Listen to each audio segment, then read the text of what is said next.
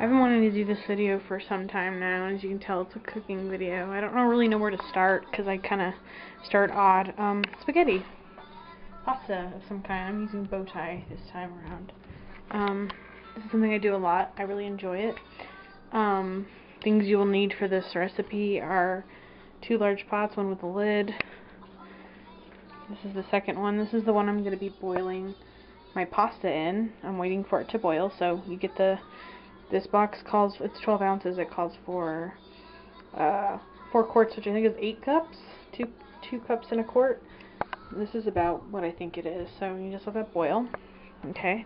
You're going to need pasta sauce of your choice, or if you make your own, or whatever. I use this uh, Great Value Chunky Italian Garden pasta sauce because it doesn't have any cheese and it doesn't have any sugar, which is hard to find. Just making sure, but yeah, I get two of these because I make a lot. It lasts a long time. You're gonna need some kind of mushroom. You can, whatever kind you want. I usually get these pre-sliced bits of uh, sliced portobello and then cut them into even smaller chunks. Um, a tomato or two this is kind of one that I need to get rid of. There's a little mold on it actually, but I think I can cut that off. And um, this right here in this bag, this is kind of important. Um, this is Yves ground vegan meat. It's kind of it's made of soy. Um, whenever I want to cook something, I usually just kind of don't. I don't really plan it. This is half of a package of that, which is all I use, um, because I use so much other stuff. Um, and it's sitting in a bath of hot water to kind of thaw it out. And um, I'm going to, here in a minute, I'm going to put it in more hot water and thaw it out a little bit more before I simmer the sauce. Anyway, in the other pot. Um, in the sauce I also use, besides the tomato and mushrooms and meat. I use some, a little bit of nutritional yeast, which doesn't really pick up a taste, but it kind of adds a flavor. Um, some kind of Italian seasoning. I use, this cost me 50 cents. I don't, it's more for color. And then my favorite thing on earth is Lawry's garlic salt. So, and then to kind of take away some of the acidity, um, I use, this is not Florida Crystals, this is Zulka sugar, which is looks like this. I don't think I don't think I've ever shown you. Sorry guys. If you see my dirty kitchen, I've been working. I get lazy. Um, you can find maybe find this in the ethnic Mexican aisle of your local grocery at Walmart. That's where I get it. Um, it's a tad bit tad bit cheaper than Florida Crystals, which like raises up and down. So that's what I use. Okay. Um, anyway, so, um, I'm waiting for that water to boil, but right now I will come back. I'm going to start the sauce. So, those are kind of the key ingredients you need. And a knife, and a cutting board, and an imagination, and just a sense of taste. So yeah, I'll be right back with you. That's boiling pretty well. I was chopping up some tomatoes and some mushrooms. Okay. I need to stir it up a bit. Alright. That, uh, there's that. That water's not quite to a roar the way I like it, but I'm, so I'm going to wait for that, but it's pretty boiling. Stick your finger in it, and, you can see a little bit of steam. I'm going to wait a little bit longer. So in the meantime, what I'm going to do is where my spoon rest is, but I guess I washed it. That'll work. Is add some of the nutritional yeast, and we're being very generous with the seasonings. This is before we put anything else in it, so we kind of want to start that off. Alright. I'm going to turn the heat down a little bit. Not much, but, you know. Anyway. Got that Lawry's. and I'm talking generous, you know, we're going to add more later, but start it generous. And then I'm not going to add onions to this because it tends to give me, I had wicked heartburn when I did that. So, here's that Italian seasoning. And then,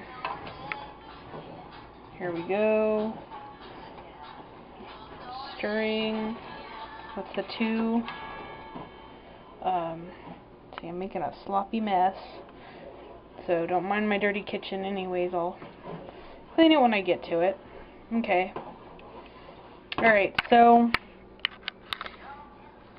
I'm going to go check on the Yves meat. It's still kind of frozen. I lied, I didn't put it in more hot water, so...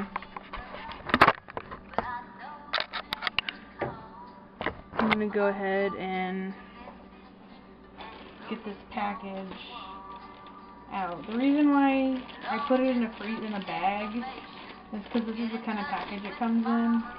And this is half of what they sell you at the store. So you put it in a bag when you do that, because then it's quick to, to get out. Okay? This is looks like a ground beef, but it's made of soy, it's vegan, it's gluten free, so that's pretty cool. Okay, I'm going to take that over here and dump dump that in there. You can thaw you can even thaw that out more than I have. I'm just being lazy right now, but I'm kind of giving you the gist. Kind of chill it in the let it chill in the the middle. Okay. Now, there's the point where I add a little bit of olive oil and then some salt to that water so the noodles will be tender. Okay, now I got these um, great great value bow tie uh, pastas which they say they could have traces of eggs in it but usually they don't. I don't know why this camera doesn't focus but anyway it doesn't have it actually in it uh, it's semolina pasta, so I just have to say that. May contain traces of eggs. Probably does not. So, you know, it's going to be as good. I've tried this stuff before.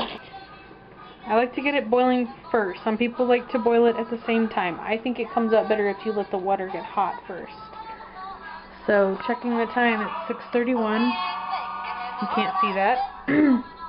so, when at about 6.45, I'm to pour that into my colander. Okay. Now I'm to go ahead and check on my meat. My technically meat in there. Okay. The chunk is kind of coming apart. You probably should like let it thaw out a little longer than I did, but it'll be alright. Okay. So, I'm gonna think, I'm saying that's about reduced to, you look at that, about half of what it was. So what I'm gonna do is reduce the heat a little more. Add more seasoning. Splatter. Okay, add more garlic salt. Add more Italian seasoning. Add more nutritional yeast for color, really. Okay. Sometimes what I like to do this that I didn't show you is I'll take some kale because like a lot of times I work and stuff I get tired I don't know what I'm gonna want to do take some kale cut it up put it in the freezer bag um, let it freeze for however long, and this is just like an accident I came up with. And I've got two dirty spoons, oh well. And um, crunch it up into there to add a little bit, but I don't put it in, I put it in right at the end, kind of like with my, my beans on my gumbo.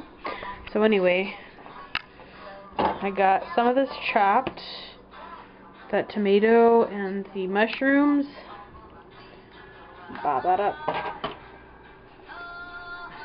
Come on. Well. Ain't gonna come off easy. Okay. Trying to get situated here. Okay, throw mushrooms that fell. I'm a very messy cook. Now, stir that in.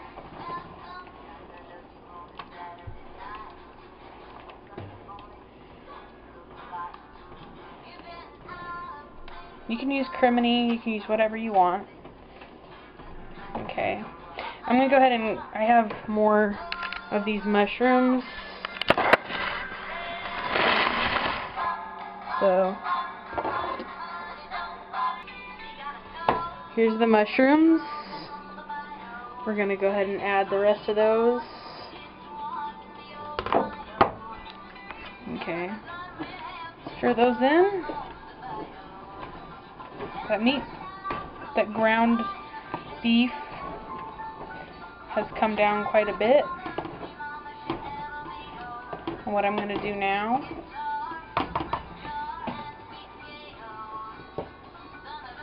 add a little more. Yeah, this is a lot of salt. Amber likes salt a lot. Okay. Wish I had some kale, frozen kale. That'd be great. Alright.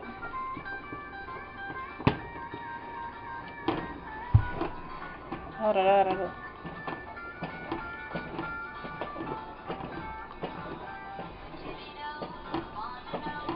Okay, now we're gonna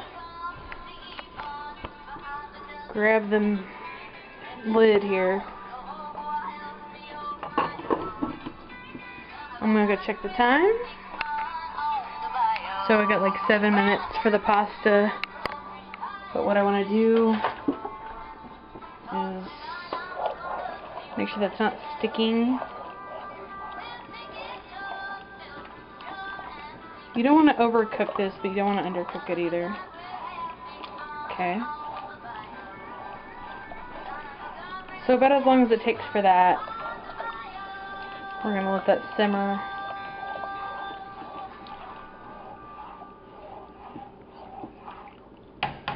Alright. So I'm going to have a little talk with you.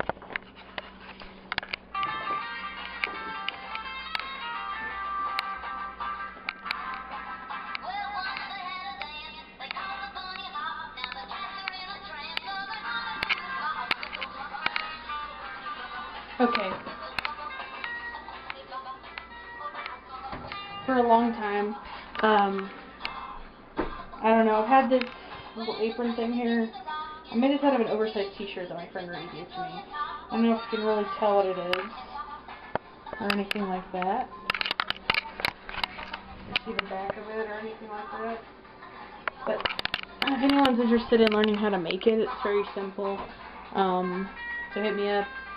But, uh, I thought about sewing pockets, but kind of never did. Um, yeah. Um, here in the near, near, very, very near future, probably tonight I'm going to record a haul video for some stuff I got from Goodwill with some, like, photos, and, um, also talk about my e.l.f. products, so something fun to do. I'll see you here in about, I don't know, 10-15 minutes. It's been about 15-16 minutes, so it's time to dump the noodles. I'm going to check on the sauce, though, real quick. It's rumbling in there. Rumbling.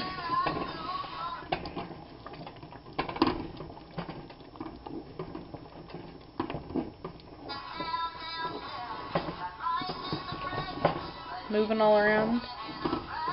So I'm gonna, what I'm gonna do is turn that off. And as you can see, I had a little middle mishap. Okay, so we're gonna do the water. Dirty, dirty dishes.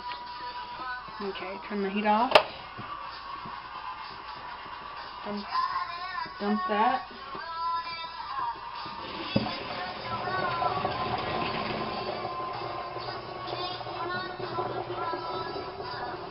So you put that on the back burner.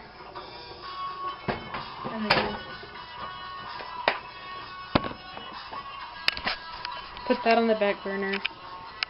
This mess, mess, mess.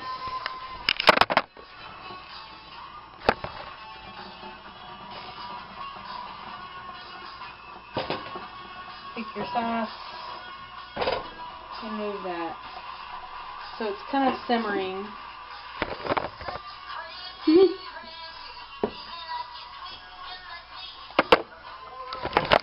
and then I will come back to it.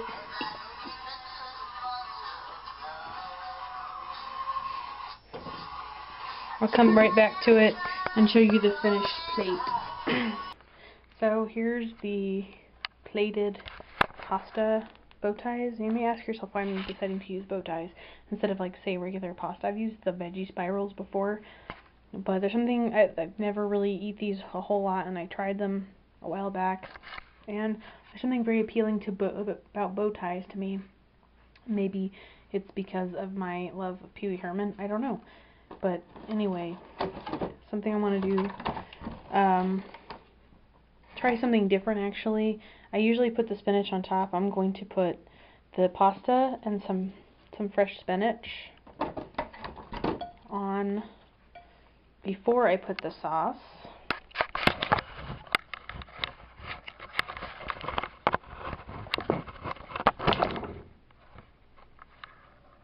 Okay. And then I ladle, I mean this is completely necessary to show you I guess, but I ladle on my sauce and you can add a little more spinach if you'd like. Um,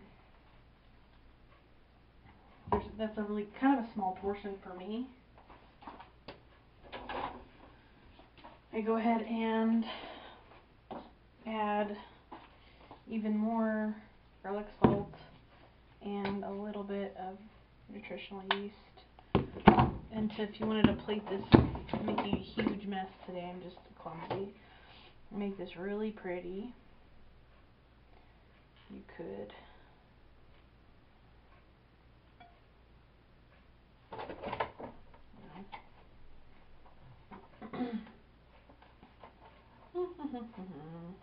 I'm not really about food doesn't have to look perfect to me, but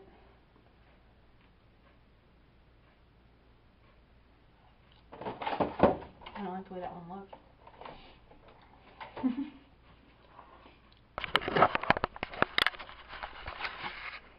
you can kind of make it look like that.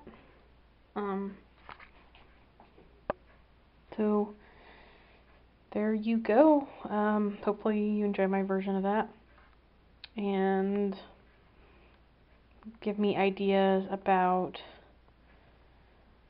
I don't know, other things that you do with your sauce. I know that people add carrots. I've done that before and that's really good.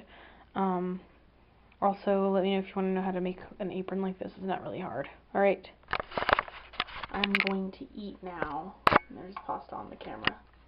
Have a nice night. I will see you after a while. Bye.